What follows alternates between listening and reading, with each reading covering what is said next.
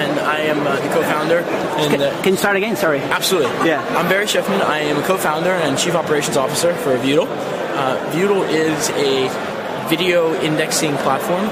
Uh, the centerpiece of our technology is facial recognition capabilities uh, that uses ancillary modalities such as speech to text, optical character recognition, uh, electronic program guide, and, uh, and, and transcripts to give the consumer an experience with video that truly reflects all three dimensions of video uh, visual, textual, uh, and, and, and, and audio. So you, you do voice recognition in, in the video? Yes, we do voice recognition and we also do uh, we, we do uh, Yeah. text recognition and recognition. Because you shot some amazing thing where you type Clinton and then her face come up. And and Bill Clinton also. Yes, exactly. Yeah? So so so we can do the text recognition Yeah. uh, of, of, of, a person, and then we can do we can refine the search. We can say Clinton, and, and Yeah. we recognize that there's Bill Clinton, Chelsea Clinton, Hillary Clinton, uh, and we can choose what you're interested in, and then you can refine your search based on uh, additional information in the video.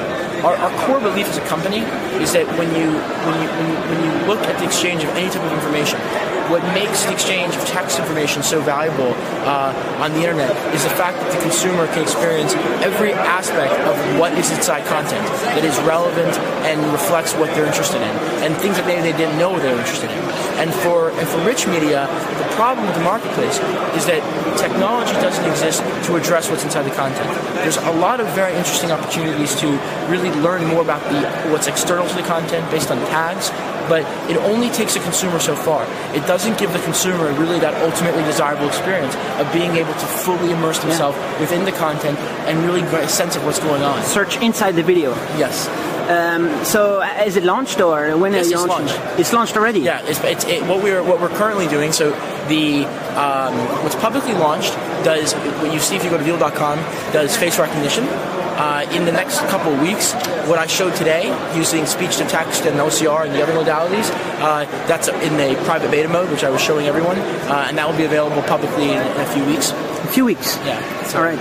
And uh, you're doing like a portal for all kinds of videos, or you want to only partner with Reuters or something like that? Is Any it- video. We any- you know, if, it, it, you know the, the the commercial focus that we're that we're after is really based on entertainment and news media, uh, because that's where there's there's there, there's, there's a clear demand, a clear appetite, uh, and, uh, and, and and and we can get to a point where we build up our reference database and we build up our content partnership and the content that we have to, to broadcast uh, relatively effectively that way in a, in, a, in a quality controlled manner. So that's why we're pursuing that strategy. And you might uh, sell it to anyone to just add their video in your in your system, or Yeah. Yeah.